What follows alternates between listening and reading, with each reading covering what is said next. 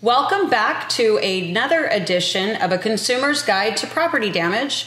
Today we have Ana Myrrha, who is the agency principal of her insurance company, American Insurance Point. American Insurance Point.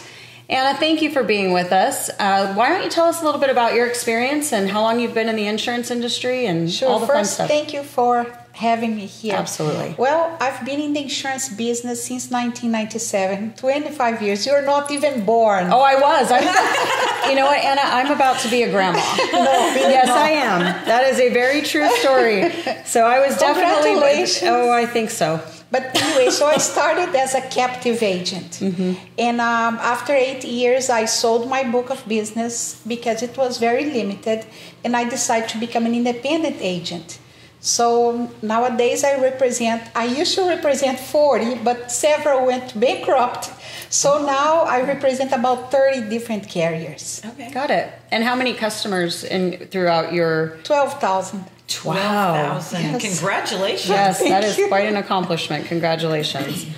Um, so let's talk a little bit about what consumers need to know from from your side.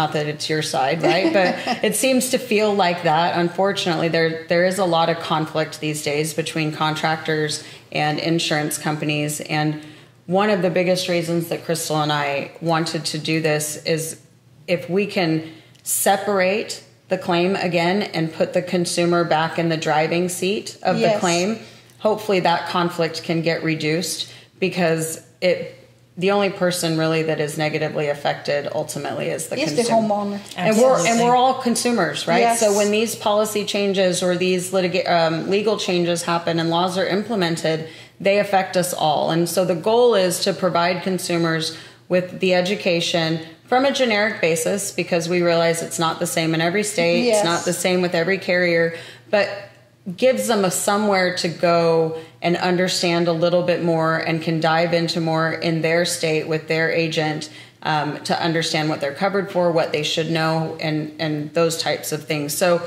let's talk really quickly about from a policy standpoint. People, we know cheaper isn't better, right? Conceptually.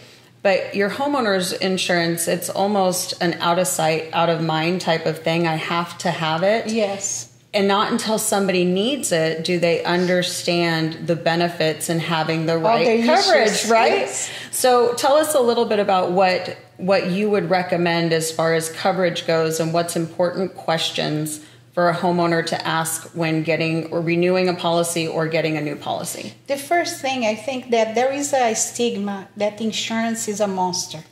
That is so complicated because you receive that policy jacket with that language that there are exclusions and inclusions and deductibles. So it becomes like a nightmare that you don't want to even look at it. Mm-hmm. But insurance is nothing more than a risk tolerance. What do I want to protect? What can I afford not to protect? How much do I need to cover my bases? So I have enough saved for this item or that item. Like we discussed, some people, the furniture is really important. They invest a lot of money, but some other people are more frugal. So maybe you can uh, changes and every policy can be adapted. So ask basic questions. Nobody needs a rocket science to make an appointment and say, listen, I don't understand anything about insurance. Tell me que- simple questions that I can think and I can see, oh, yeah, that is important. Oh, no, I don't care for that, so I can save there. Like So- a computer person would want to make sure their electronics are covered, Yes. right? Because that's a high valuable item for them. Mm-hmm. Myself, not very technologically savvy. I don't have a lot under electronics in my house. I have, you know, a couple laptops and that's that's about it. So I think I think you're right. Like having an understanding prior to going into a policy of mm-hmm. what are the necessities inside my house as far as my personal belongings go. And then, you know, there are responsibilities that Yes. go along with buying a home. Yes. Um, and some people choose to rent intentionally so that they don't have those responsibilities. But, Yes. you know, I, I, I think that understanding what you want to have covered is really important, but I think we also need to understand that not everything is covered. No, right? Like it's like a, a car. You buy a car, you know that from time to time you need to replace the tires, you need to do oil change. Mm-hmm. Maybe you need to change one part or the other. So you need to have some money saved. The same thing is a house. If you buy a house and you cannot save a little bit every month, maybe to replace the air conditioning unit or maybe to replace the water heater, mm-hmm. even the roof that nowadays is a nightmare mm-hmm. in so many states. Well, it's so expensive, right? It's scary. We need to understand yeah. what is considered maintenance. Mm-hmm. So your expectation regarding what is covered and what's not, I see that is what causes a lot of frustration. A lot. People expect every is everything covered? No. Mm-hmm. It is not everything covered. So understand calculate the risk and have that money little by little saved because I'm a consumer too. So I need to save money for my own house. I need to replace the air. One day in the middle of the summer, the air conditioning went bad. And uh oh. so if you don't have money saved to fix that, that's not something that your insurance policy is likely going to cover. Now, fortunately, most most industries now offer some type of a financing yes. option so you can have a monthly payment around it but i think even even to go back to how you can understand your home better we get home inspections when we yes. buy when we buy a house right um, but how many people really understand their home inspectors they report? don't even read and a lot of a lot of home inspectors don't get on a roof right so roofing yes. being a really hot topic these days I always recommend that you have an actual roof inspection done before you purchase the home so that if, if a contractor says, hey, you've got five years left on this roof, the insurance company, that is a legitimate amount of time for them to insure the roof. Yes. So I don't know that you would know that you're not going to have, you know, you're going to have a coverage issue per se, but you need to be planning for the next five years. Exactly. Right? You can't be waiting for a hailstorm to come through or a windstorm to come through, fingers crossed. Yes. Before your roof gives fingers up, right? Crossed, yes. and and not that to some people, I mean that does happen legitimately and I understand that, but it can't be what we're relying on. Yes. Right? As consumers. We have to be smart when we're buying homes. And if your roof if you're buying a house that the roof is older, then maybe that's a negotiating tool inside of purchasing and you can put some money away and get that roof done sooner exactly. so that you're not going to be worried about it in five years down the road. Yes. And so for instance when a, a consumer comes to you to maybe buy a new policy is that something that you look at with them? Is it something that you ask? You know how old is the roof? Do you look at the home? Do you have some data or facts that you pull from and you say, you know, Mr. and Mrs. Homeowner, it does appear like your roof here is older. Um, is there something specifically different that you might suggest for a consumer when buying a policy if that's the situation? A roof nowadays probably is the biggest problem we have. And I think it's not geared towards one state. It, it, it is a national issue. Yes, yes I would agree with and, that. And uh, I would always recommend that any work that is done is done with a permit. And in this case, let's say that the roof is older. Nowadays, policyholders can choose to have it paid as a cash value mm-hmm. or with depreciation. Mm-hmm. So that at least allow them to have a policy. If you're just tuning in, we do have an episode with Vince Perry that actually explains the actual cash value and the depreciation in more detail. So please make sure that you go and watch that so you can have a little bit of context again to what Ana is saying. So yes, that way you can keep going because they're not going. What is depreciation? You yes, know? yeah. But you know, it's like an auto policy. When you, if you have a total loss, the company will not give you a brand new car. Mm-hmm. They will give you according to some places about Kelley Blue Book or something similar. So the same thing is if you have a cash value um, valuation mm-hmm. on a roof. So nowadays it's an option. Mm-hmm. Uh, some carriers are excluding roof. If you can't I've find anything, mm-hmm. yes. I don't think it's the best choice, but sometimes it's the only choice. Okay. Yeah, I've, I've heard that there's uh, an actual exclusion for roofs. Um, there's cosmetic exclusions, you know, yes. especially these days if the shingle is a certain type of a shingle. Yes. Because if the mat on the back is not broken, then what's going on on the front and that to me that's really hard because I don't I don't look at it that way, but I I do understand um, because in my opinion the granule loss is is really the biggest problem. important. Yes. But knowing whether it's right, wrong, is this or that, it's the homeowner needs to understand that if they're accepting something like that in their policy, there's adva- advantages because the payments are going to be lower, right? And they're they're going to be saving money there. But if they're saving that money, hopefully they're putting it away because the coverage is not going to be the same in the event that they do experience a loss. Yes. And I think that the more you know, the better it is for you. Right. Uh, we have a saying, I'm originally from Brazil. You can see I have an accent, but uh, I, I always say that what is agreed is not expensive. So if you agree to a policy that you understand, at least the basic, that is not going to become expensive in the event of a claim.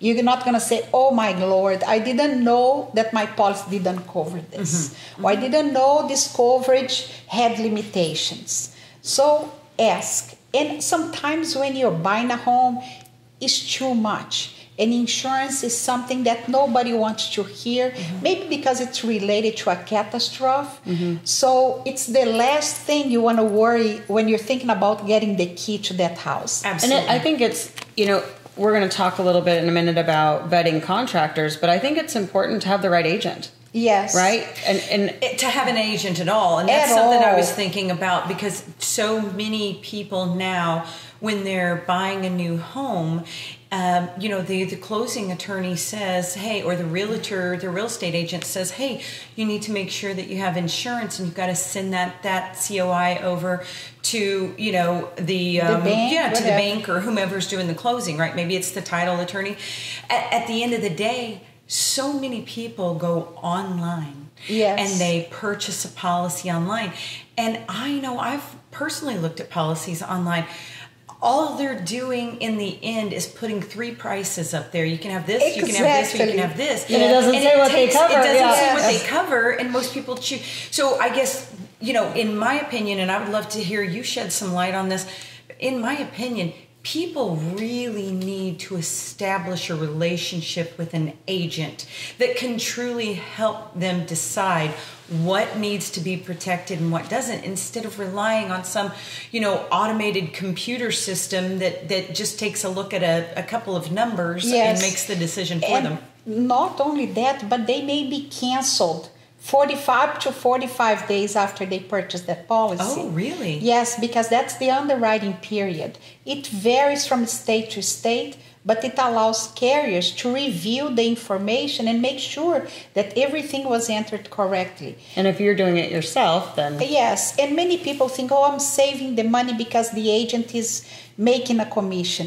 Yes, we live on commission, mm-hmm. Mm-hmm. but our commission is disclosed.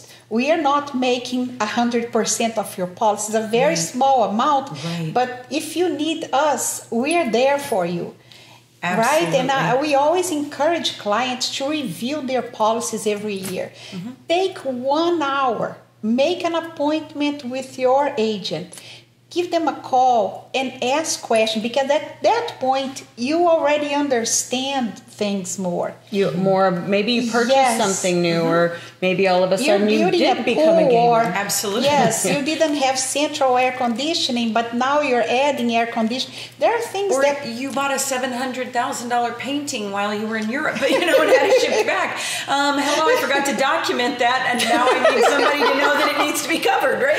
Well, I don't know if you can afford a seven hundred thousand dollar painting while in Europe. I don't know that it, it it. necessarily is going to matter, but it could. It does. could. I- Maybe you inherited Yeah. one. Yes, that's a better. yes. That's a, that's a better word. You inherited it. Yes. Um, so it's really important to ask questions because what you said in the beginning, at the end of the day, it's your policy, and you should never try to push the control of your coverage to somebody else. Is easier?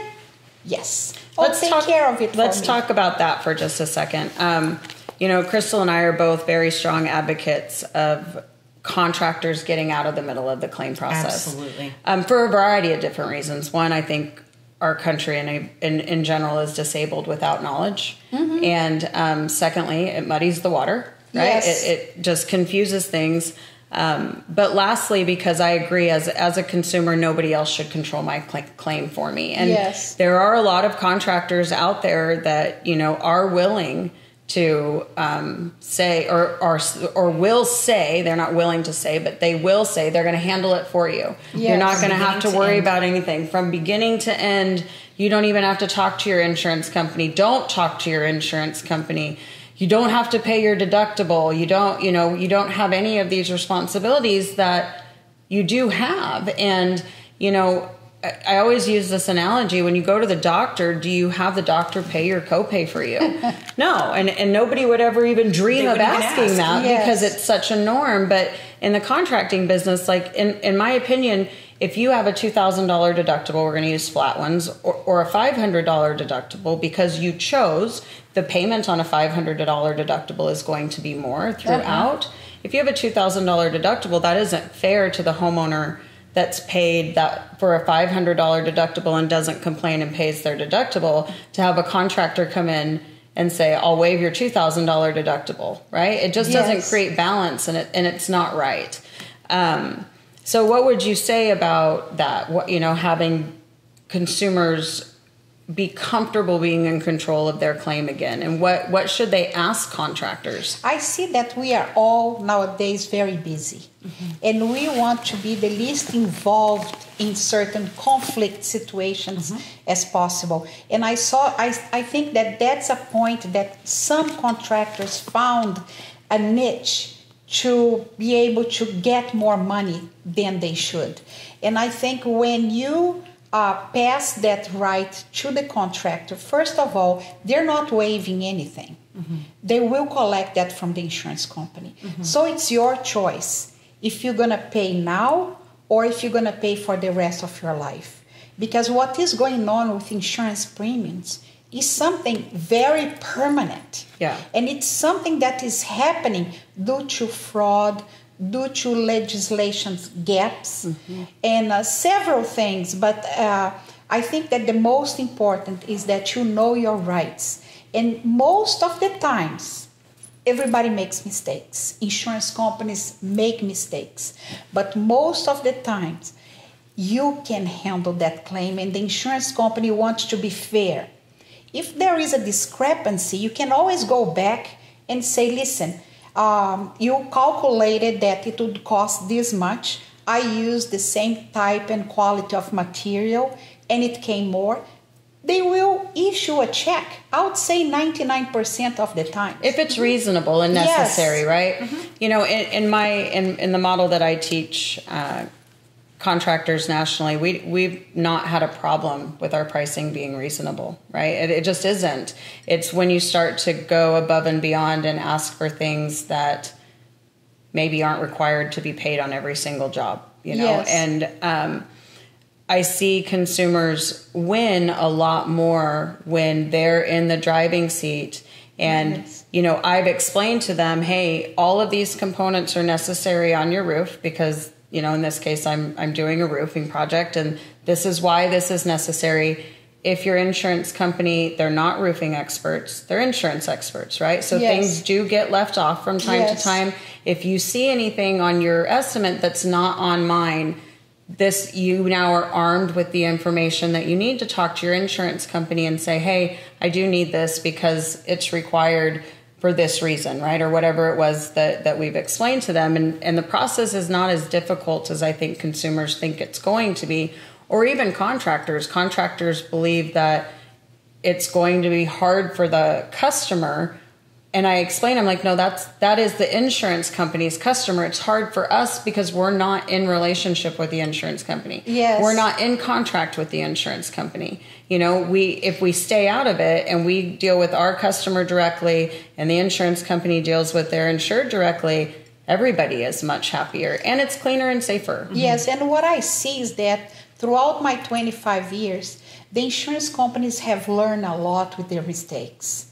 And uh, several carriers, I've gone back to them and say, listen, if you keep in touch with our mutual client more often, and if you listen more, you're gonna have less problems mm-hmm, along the mm-hmm, road. Mm-hmm. So I see that nowadays the insurance companies are a lot more proactive.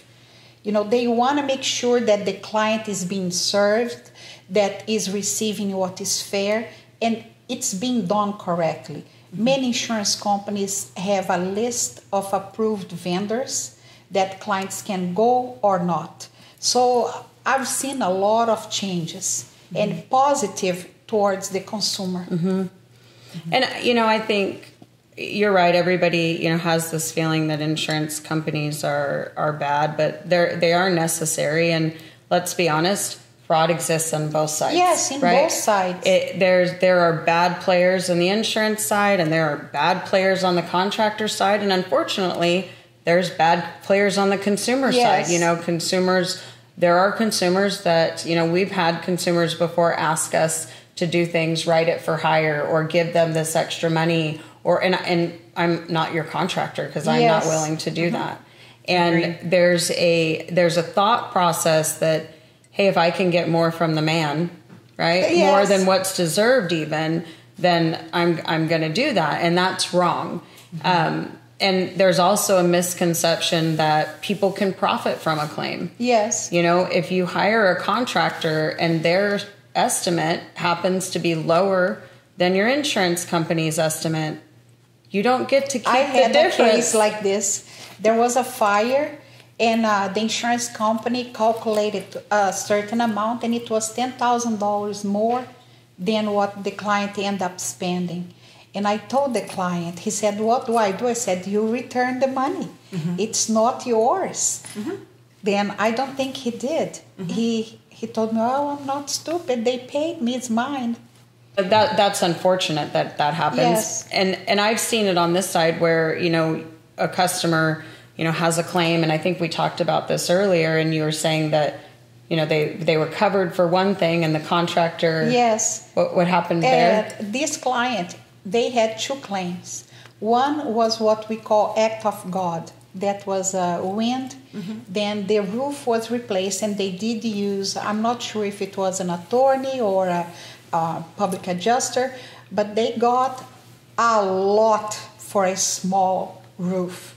I guess the same contractor. Then they had a water loss at the kitchen, and the company ended paying almost forty thousand dollars, and told them, "Oh, let's go ahead and redo your bathroom and redo a few things." So they remodeled most of the house, but they did not take care of the damage that the water loss caused. Oh no. So they could not provide the insurance company the proof of repairs because they asked Mm-hmm. They didn't for do that. it, It's yeah. their right, right? Ask they gave you the money, so they don't have the proof of repairs, and now nobody wants to insure them. yeah i'm sure not and that that's hard and that happens unfortunately um, you know probably far too often. And i think you know one of the things we encourage our customers to do our homeowners to do if the insurance company or the insurance carrier is paying to repair something make those repairs. Because at the end of the day someone knows whether those repairs were made or whether they weren't. And at the end of all of it you don't want somebody to say to you we can no longer insure you. And i've had clients that get letters fortunately afterwards you know they did do the work but they still get a letter that says hey provide us proof that Yes. this was done or we have to cancel your policy or not renew your policy. And i think um, all too often they don't understand that that's a possibility and um, maybe contractors don't explain to them that that's a possibility and um, you know i've unfortunately seen customers have their policies canceled for exactly what you said they couldn't provide that what was paid for was done Yeah. So now we have this problem. Yeah. Let's talk a little bit about um, assignment of benefits, direction to pay, and work authorization, right? Because there are Uh-huh. three three different things. Um, I personally advocated very strongly for the assignment of benefits, assignment of claim in Utah a couple years ago, because the the UPPA laws, the unauthorized practice of public adjusting laws in Utah, are very strict, and I wasn't able to discuss scope. Okay, and that was Ah. really hard because if I can't talk to the homeowner about what's needed or what's missing, it became really challenging to do my Ah. job. And I, I explained that to the Department of Insurance, and the assignment stayed in place, but the laws around it became more strict. And ultimately, I made a decision to do retail and retail only. Sometimes insurance companies reimburse their cus- customers. Sometimes they don't. It and because there isn't an insurance claim, right? Like I don't, I just don't differentiate, and I don't get in the middle. But I do know that assignment of benefits can be they're utilized quite a bit, especially in states like Florida. And they're not always bad, right? They can they can Yes. have benefits to them, but let's talk a little bit about what a customer needs to understand about that when you're assigning the benefits or the claim over to a third party. Yes, here in Florida, the legislation probably is very different from Utah, and it kind of benefits the uh, the wrongdoing. So the assignment of benefits, the client, we the clients are transferring the right of that claim to a third party, and if that third party goes bankrupt, if they don't complete the job, they can still request the money, they can receive the money, and it's you, uh, you as the homeowner who have to finish the job that they didn't. So there are a lot of consequences on the assignment of benefits. Now, from a contractor standpoint, you know, one of the scary things I can remember when I did do insurance proceeds work is, you know, if my name was on the check with the homeowner, Uh-huh. I got paid, right? Yes. The homeowner would pay me. But at the end of a project, the roof is completed and the homeowner gets the check, and all of a sudden that my name is not on it. Oftentimes we would get ghosted or they wouldn't talk to us anymore because having that $10,000 or $12,000 check can make a huge difference in people's lives. Absolutely. And so how can what's the compromise there? Like how how can you protect the interests of the contractor Uh-huh. who is choosing to do insurance proceeds work because it does exist and that is their right to choose and still and still protect the rights of the homeowner. the uh, usually the contract can still be paid. The check can still come in both names.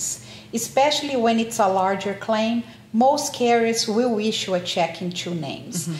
But the contract allows the company to place a lien on the house if the homeowner doesn't pay the contractor if that is the case. And we see this a lot. And so is a direction to pay does is that what allows the insurance company to add the contractor to the check? yes. Okay. And then what's a work authorization? What's the difference? The work authorization is this you authorize the work to be done. I will perform on the best of our ability, and you pay us maybe on a scheduled 25, then 15, mm-hmm. and then the rest at the end. And if you don't, you will place a lien on your house. So it's like a retail contract, just Yes. a, a contract between a for work to be done, just like it would be whether insurance company was involved in it or not. Yes. Okay. Um, so I'm a huge proponent of financing, and I'm a huge proponent of financing for a lot of different reasons. One of the major ones is it eliminates this problem, Yes. right? So um, when a when a homeowner chooses to finance a job, the contractor, the bank is now assuming the liability for the contractor, Uh-huh. right? So the homeowner is shielded from the contractor being able to steal money. Yes. Um, the contractor usually gets paid directly into their account once the work is completed, and um, the homeowner then you know the money comes back from the insurance company, and the homeowner can either pay off other things if they want to, or they can pay off their financing. It, it really Yes. becomes up to them at that point. So there's a lot of convenience in it. Do you think that? Um, that if they don't do a direction to pay or they're not doing assignment of benefits, could financing be another solution for that? Oh, or would you think so. recommend? Is there something? I, yeah. I think it is, especially if the roof, if it's not a claim. Let's say the roof is just old and needs Mm-hmm. Well, to for be sure then, replaced. yeah. Or because you know most items in a home are very expensive. Mm-hmm. Water heater, the air conditioning. Some homes have like this one here. They may have two units. Mm-hmm. So you know when it comes time, it's for both units. Mm-hmm. So I think financing is a great option. Yeah. You know, it, it's um, it's interesting because we were talking earlier about you know putting money away, and we were talking about cars and oil changes and tire Yes. rotations and things, and there's programs out there that you can you can join and pay monthly, right? So you can go in and get your tires yeah. rotated and divide it up monthly. You, you can do the same thing, you know, in a roofing type of a situation or an exterior where you know there's repair and maintenance programs for HVAC. Yes. There's repair and maintenance programs for um, water heaters, like all of the different things. And so, Extended warranty. Yeah, programs. extended when warranty. I purchased my house, my house is older, was built in, I believe, 1990. And then the realtor gave me as a gift a maintenance program. Mm-hmm. So I really needed because the air conditioning was re- I think it was almost original Right, it yeah, was not right. original. So I called a few times. So that helps. And I thought about keeping the program. I guess it was about $350, $400 a year. But just the three calls that I had for the air conditioning, they paid up the program. Right. So, yeah, I did that extended warranty thing on my car, and you know how you get the calls every day that you have a, a vehicle Uh-huh. that had one. No, I actually had one, and my transmission went out. Um, and it was not an old car; it was a problem within the the automatic transmission, these maintenance Mm-hmm. maintenance free ones, and people gave me a lot of crap about buying it, like it was some But scam. But oh, it say it, I paid a hundred dollars. That was my Uh-huh. deductible, and my transmission was twelve thousand dollars. oh my gosh. Right now, when I purchased it, it was twenty two hundred dollars. But still, you look at the big scheme of it; it was very Just much need to worth be it. careful, like Yeah. everything. It's the same with insurance companies. Don't go for the cheapest. Like when you Yeah. began, you asked me, don't go for the cheapest. Understand why? Because we get a call sometimes.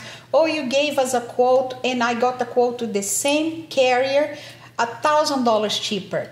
Okay, so there are huge difference on the coverage. Mm-hmm. You know, maybe we're offering replacement costs on content, so there is no depreciation. The other one didn't. So there is there are no miracles. Right. And some policies have a mixed policy, it seems like that. Like my own policy, I started looking at it and I realized that, you know, I had like an actual cash value portion on some of the exterior things of my home, like the roof or the siding or whatever. And then my personal contents actually had a replacement cost value. So I had, I mean, there was actually both, and I didn't realize that a policy wasn't either all or nothing. Yes, and some policies also have a water limitation. Mm-hmm. So if you have a water loss, they have a cap of $10,000. Right. So there are things you need to read because the numbers it may have the same coverage. So the outlook may all be a jeans, a pair of mm-hmm. jeans. But sometimes the little tag that is there Makes all the makes difference. all the difference. some people are willing to So pay true. three hundred dollars and some So others thirty dollars. they look the same ultimately. Yeah, sometimes the coverage that is right there, dwelling, other uh, structures, eh, they may all Right. look the same, but the fine lines are very are different. important. So, on that note, I would love you to kind of tell the homeowners, and I think we started to talk about this, and maybe we veered into another conversation. But when a client or when a homeowner, I should say, thinks that they have some type of a loss. Um, should they call you? Should they call their insurance carrier, one eight hundred customer support number? Like, where? What do they really? What would you advise someone to do? Well, agencies are not open 24 7, but insurance companies, the claims department, 99% of the time is 24 hours Okay. because they want to make sure that whatever it is can be uh, at least helped immediately. If it's a water loss, if it's a fire, that they can start the mediation immediately. So if it's during working hours, call your agent if you feel comfortable if it's not something huge but if it is very dangerous call the insurance company Okay. directly. But people that call us we can provide this first service. Okay have you stopped the water loss? Uh, what are, what do you need? What can we help? And sometimes if the claim is below the deductible we advise them. You have the option to see how much it's going to cost you if you want to still file the claim or if you think it's going to be below the deductible sometimes it's not worth it. I, um, let's really quickly talk about that. You know, I think that homeowners worry that they're going to be penalized for filing claims, and some claims, you know, they are right, Yes. just like you are for a car accident, your fault, not your fault. But you mentioned earlier act of God. Yes. And um, most storm damage related claims are typically, under my understanding, acts Act of, of- God. yes. Um, so, can a homeowner be penalized directly, just them, for an act of God? It depends on the state. But uh, I would say here in Florida, they can have up to two act of gods, and usually it's not penalized. And uh, homeowners insurance, the price cannot go up because you had a claim. It's different from an auto Right. insurance. So they can non-renew you if there is any reason within their guidelines, but they cannot raise your price. They just can't randomly raise your price in the middle of your Cor- your coverage period. Even after that, Okay. they want to increase your price because you had a claim. It has to be like a whole region, right? Exactly. That's yeah. We talked about that earlier, but I wanted to talk about it from the insurance side as well. And I think lastly, um, well, I guess it's two sided, but especially here in Florida, there have been you know several insurance companies that have gone out of business, and that has created a fear, I think, for homeowners in choosing an insurance carrier. Yes. How do you vet an insurance carrier? How do you choose what is the car- what's the best carrier for you without having those fears? And it, it's contractors are the same, right? You run a risk Yes. regardless, and I and I understand that. you want to look but at licenses is and yes, histories yeah. and Is there like a rating? I mean, you know, I, is there like somewhere that they could go to see how they score or something to help customers or consumers understand? Yes. Uh, carriers here in Florida, they can have either of two uh, reaffirmation or you know their financial capacity. Either they are AM Best, but very few are, or they are Demotech rated. And right now we have an issue because several large companies have not yet been reaffirmed by Demotech. So what I would tell uh, clients to do is look in the internet. Uh, what is the rating for such a carrier? And if you're having a, a representation of an agent, ask your agent. I want to make sure that my carrier uh, has at least an A, especially if they are financing. The bank won't accept if That's they have a lower rating. Right. Okay. There's only certain insurance agencies that a mortgage company would be okay with you Yes. having. That, okay, that's but good to know. nowadays, uh, unfortunately, we are having to place a lot of business in a parallel market that is Right. called excess and surplus. So these companies may be admitted in Florida, but they are not rated like you know the regular carriers. They usually are AM Best. They're big companies, but they don't have to. Uh, they not are not under the same regulation. So if they decide to cancel your policy because they decide to cancel, they can. They have other, you know, There's just other things that are not Other as regulations. clear Yes, and cut. if they go under, the government is not going to Save guarantee anything. Right, Right. that makes sense. Right.